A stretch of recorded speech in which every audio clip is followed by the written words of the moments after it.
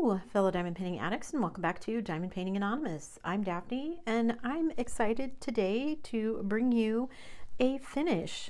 As you can probably tell from the cover sheets here, I made my own release papers. I just went out and found some clip art on the internet and made some release papers for myself for my Jetsons kit. So I'm finished with it. I'm super excited to show it to you. So let me just talk about a couple of things first. It only took me a couple of days to finish this one. It is 45 by 33. It's a square kit, as you can see, and it came with two fairy dust drills and two ABs. So I will say that it had quite a bit of trash that I wasn't expecting for as small of a kit as it is. There were lots of drills that had weird little black spots on them, some that had some holes. This light blue and this blue 996 here seem to be the ones that had the worst. That There wasn't very much black, so there's not a lot of black. And you can see quite a bit of white and yellow in here. So not a ton of trash, but more than I expected for the size of kit that it is. I had 50 colors and we had, like I said, two fairy dust drills. We had this yellow and this kind of gray. And I actually really like how these worked on the kit. They both end up, that mica sheen ends up looking kind of metallic. So where they get used in the kit works really well. And then there were two ABs, mostly for Rosie's eyes and then Jane and Judy's clothing was where those two went.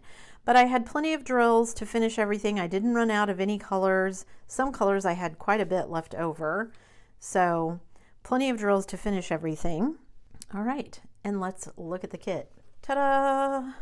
I actually really love how this turned out. It only took me a couple of days to finish. You can see here there's pixie dust drills or fairy dust drills in the edges of the spaceship here. So it just gives it, like I said, that kind of metallic sheen. And then the gray fairy dust got used in the buildings. So it just kind of gave it that little space age look. And then you can see here there's ABs in Rosie's eyes. There's some on Jane's clothing, some on Judy's clothing. But I think it turned out super cute.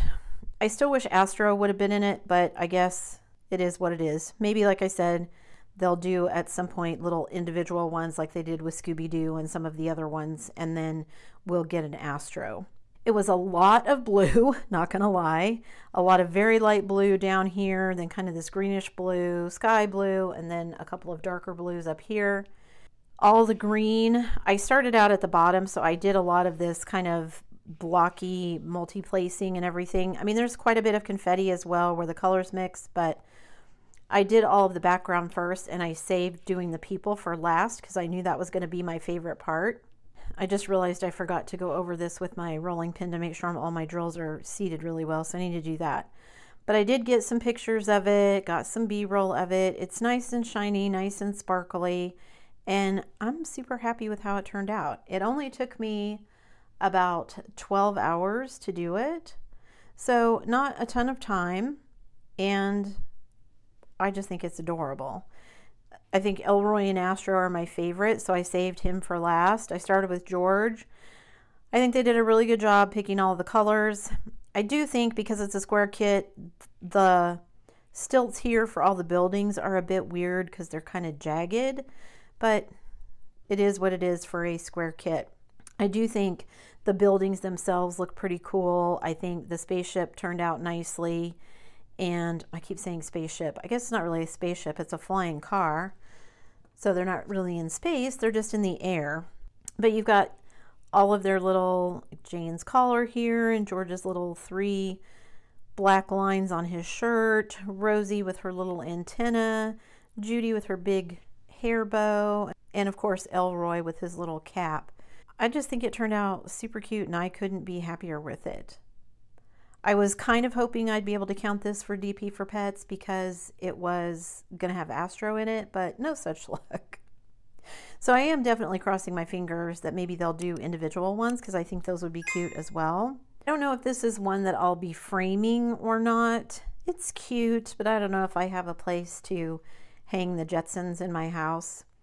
I don't currently, and I don't know what kind of space we're going to have at the new place. So I don't think I'll probably be framing it, but I got a lot of enjoyment out of it. Like I said, it only took me about 12 hours, so just a couple of days worth of work. Probably that quick because there was some nice color blocking sections. Pretty confetti heavy where the people were, obviously, but everything else, even this the flying car was not that confetti heavy. And you can see the, like I said, the fairy dust drills that kind of give it that metallic sheen. I kind of wish maybe there had also been some up here just to kind of give the bubble that kind of sheen as well. But I bubbles are hard to do in any artistic medium, I understand. So, but I'm super happy with it. Did any of you guys get this kit and what do you think of it? It's pretty small, I got to admit. It's it's I mean, it's not tiny. 45 by 33 is not tiny, but it is much smaller than I was expecting it to be. I was expecting it to be more in the 50 by 60 range or at least 40 by 50.